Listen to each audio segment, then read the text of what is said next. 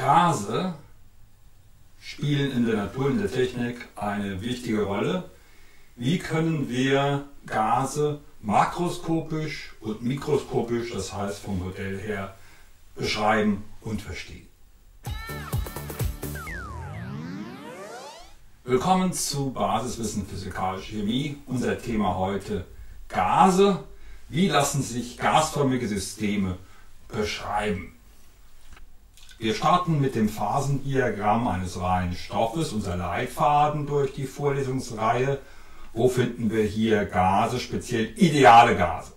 Ideale Gase sind solche, die im gebührenden Abstand sich befinden vom kritischen Punkt, also dort, wo der grüne Stern hier ist, bei hoher Temperatur und bei großen Volumina. Hier ist die Fläche stetig gekrümmt und sie lässt sich sehr leicht beschreiben, nämlich durch die ideale Gasgleichung. Wenn wir zu realen Gasen gehen, also Gase in der Nähe des kritischen Punktes, haben wir Abweichungen von diesem idealen Verhalten. Reale Gase können dann auch verflüssigt werden. Wir zoomen den Bereich des idealen Gases heraus. Diese Fläche wird durch die ideale Gasgleichung P gleich RT durch V quer mathematisch sehr gut beschrieben. Das ideale Gasgesetz hat eine lange Geschichte. Es fing damit an, dass man die Reaktion eines Gases auf Veränderung des Druckes untersuchen wollte, die Kompressibilität. Das Verhalten von Gasen in der Hinsicht ist sehr einfach. Wenn man den Druck verdoppelt, halbiert sich das Volumen. Bedeutet, Druck und Volumen sind umgekehrt proportional. P mal V ist konstant. Das ist das Boll-Majorsche Gesetz.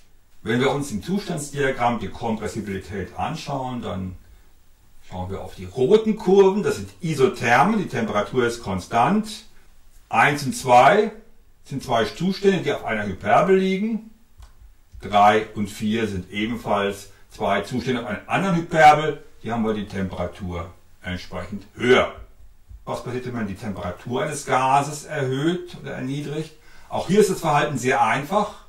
Ich verdopple die Temperatur und der Druck verdoppelt sich ebenfalls, wenn das Volumen konstant ist. Ähnliches gilt für das Volumen, wenn der Druck konstant ist. Hier haben wir eine direkte Proportionalität. Das ist zum Beispiel das Gay-Lussac'sche Gesetz und selbstverständlich ist das eine Gerade im Zustandsdiagramm. Die Zustände 1 und 3 und 2 und 4 liegen auf solchen Isochoren. Der Einfluss der Stoffmenge auf das Volumen ist bei Gasen wie bei jedem anderen Stoff sehr einfach. Je größer die Stoffmenge, desto größer das Volumen. Direkte Proportionalität. Bei Gasen kommt jedoch dazu, dass das molare Volumen, das Molvolumen V quer, für alle Gase gleich ist. Das ist die Avogadrosche Hypothese. Gleiche Mengen Gase leben gleiche Volumina ein. Man kann sich merken, dass das Molvolumen eines Gases bei 0 Grad und einer Atmosphäre 22,4 Liter beträgt. Wenn wir diese drei Gesetze zusammenfassen, kommen wir zum idealen Gasgesetz, welches diesen Teil der Zustandsfläche sehr gut mathematisch abbildet. P gleich RT durch V quer oder sehr gerne auch umgestellt nach P mal V. P mal V ist N mal R mal T. R, die ideale Gaskonstante für alle Gase gleich. 8,314 Joule pro Mol und Kelvin. Statt Joule kann man auch sagen Liter mal Kilopascal. Das ideale Gasgesetz gilt für alle Gase und es gilt auch für Gasmischungen. Luft ist eine bekannte Gasmischung zwischen vor allem Stickstoff und Sauerstoff. Hier durch rote und blaue Punkte symbolisiert. Wenn man sich so eine Gasmischung anschaut, dann kann man einfach den Gesamtdruck messen, zum Beispiel hier 99 Kilopascal. Man kann aber auch mit Mr. Dalton ähm, sich vorstellen, was passiert, wenn man jetzt alle Komponenten bis auf eine rausnimmt. Also ich nehme jetzt nur die Stickstoffteilchen, alles andere nehme ich weg und überlege mir, welchen Druck habe ich dann. Dann habe ich den Partialdruck, so hat das John Dalton genannt, das wäre 78 Kilopascal. Umgekehrt kann ich mir alles wegdenken außer Sauerstoff und habe dann 21 Kilopascal als Sauerstoffpartialdruck. Man kann den Partialdruck ausrechnen, indem man den Gesamtdruck nimmt und mit dem Molenbruch multipliziert und die Partialdrücke addieren sich zum Gesamtdruck. Diese beiden Gleichungen sind das Daltonsche Partialdruckgesetz.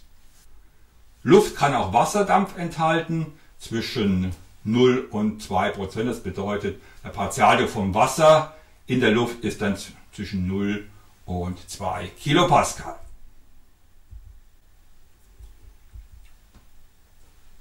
Jetzt schauen wir uns ein Gas mikroskopisch an und da haben zwei Wissenschaftler Großes geleistet. Das ist Mr. Maxwell und Herr Boltzmann. Die Maxwell-Boltzmannsche kinetische Gastheorie geht davon aus, dass Gase kleine Teilchen sind, die sich sehr schnell bewegen. Das Volumen der Teilchen ist klein im Vergleich zum Gesamtvolumen des Gases.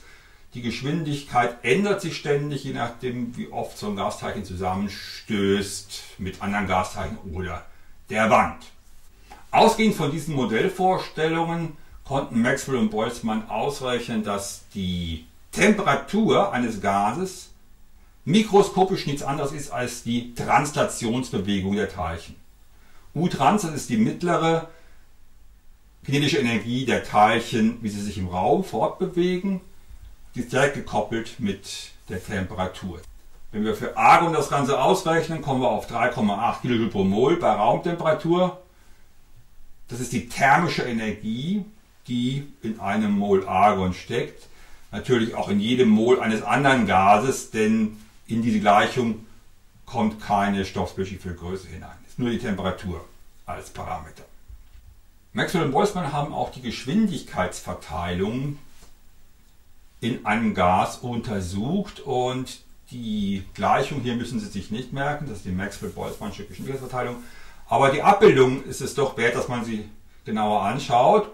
Wir haben als x-Achse die Geschwindigkeit von 0 hier bis 1500 Meter pro Sekunde und als y-Achse die Häufigkeit. Die Kurve ist nicht symmetrisch, wir haben eine etwas rechtslastige Kurve, aber wir haben ein Maximum, also eine häufigste Geschwindigkeit und etwas rechts vom Maximum haben wir dann die mittlere Geschwindigkeit. Und die mittlere Geschwindigkeit, die ist gekoppelt mit der Temperatur und mit der Molmasse. Je höher die Temperatur und je kleiner die Molmasse, desto schneller ist im Mittel ein Teilchen. Für Argon ist das ungefähr 400 Meter pro Sekunde. Wasser als leichteres Teilchen hat bei der gleichen Temperatur eine deutlich höhere Geschwindigkeit. Die Teilchen, obwohl sie sehr schnell sind, kommen aber letztendlich nicht weit, weil sie sehr häufig mit anderen Teilchen zusammenstoßen. Auch da haben sich Maxwell und Boltzmann Gedanken gemacht.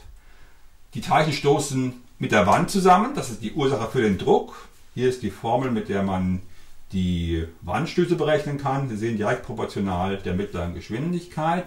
Und mit der Formel hier kann man die intermolekularen Zusammenstöße berechnen. Sie sehen, da kommt ein Faktor Sigma vor. Das ist ein Maß für die Sperrigkeit eines Teilchens, der sogenannte Stoßquerschnitt Sigma.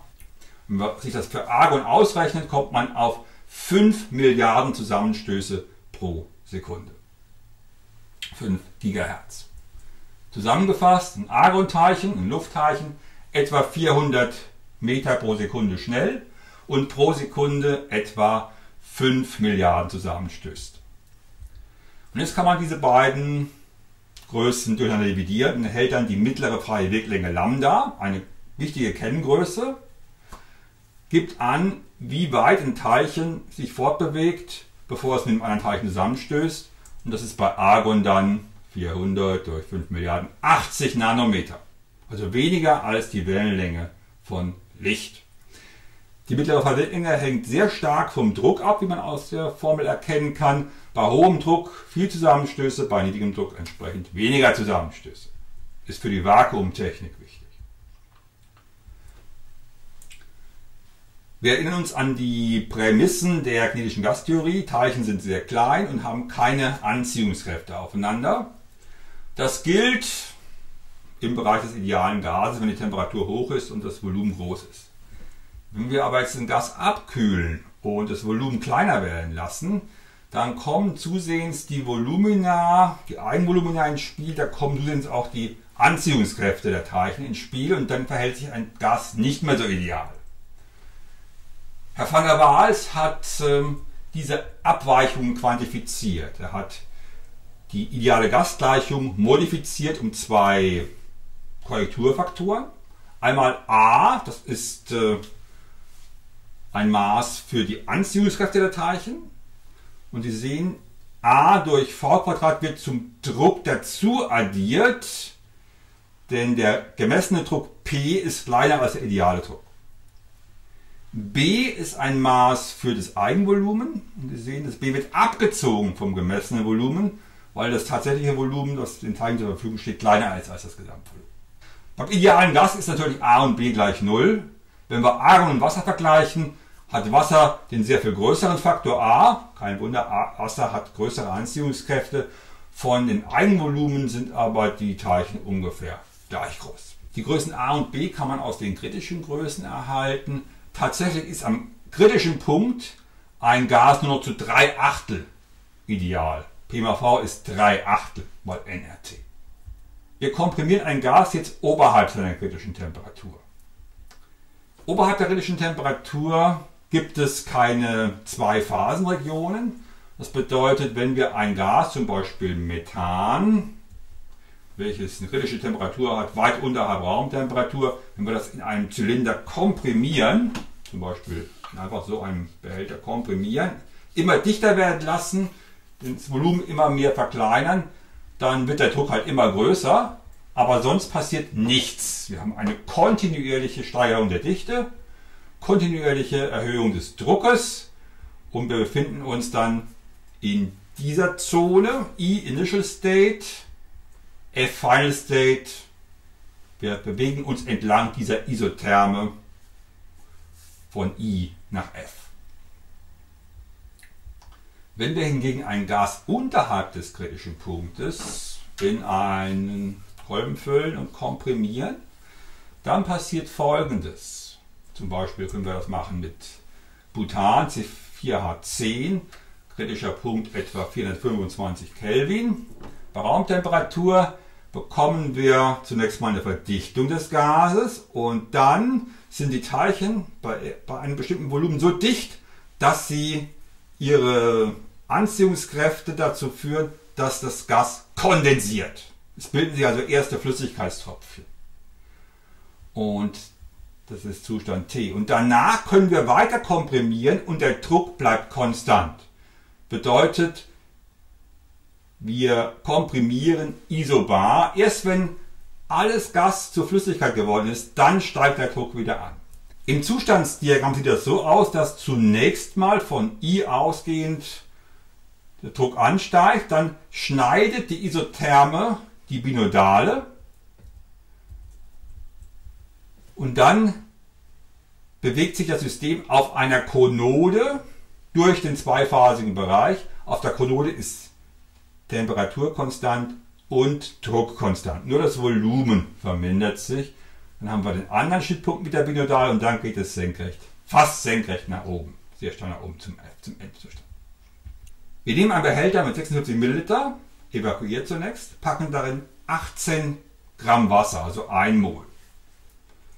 Wir erwärmen das System auf 100 Grad. Was haben wir? Zwei Phasen.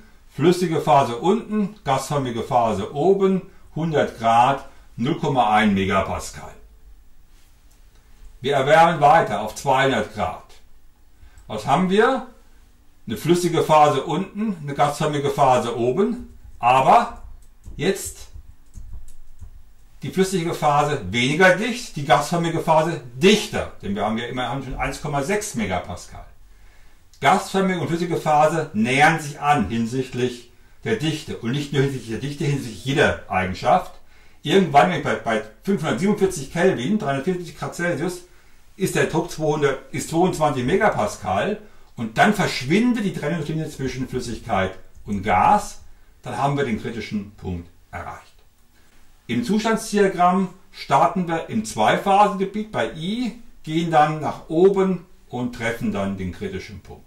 Hier nochmal die Gleichungen, die Sie im Zusammenhang mit Gasen erinnern sollten. Einmal das ideale Gasgesetz, PVNLC, dann das Daltonsche Partialdruckgesetz, Gesamtdruck ist Summe der Partialdrücke, dann die Maxwell-Boltzmann-Theorie mit der Geschwindigkeitsverteilung und ganz wichtig der mittleren Geschwindigkeit, der mittleren Energie und der mittleren freien Weglänge Und last but not least die Van der Waage-Gleichung, die Abweichung vom idealen Verhalten beschreibt und die, die erklärt, dass am kritischen Punkt ein Gas nur noch zu drei Achtel ideal ist.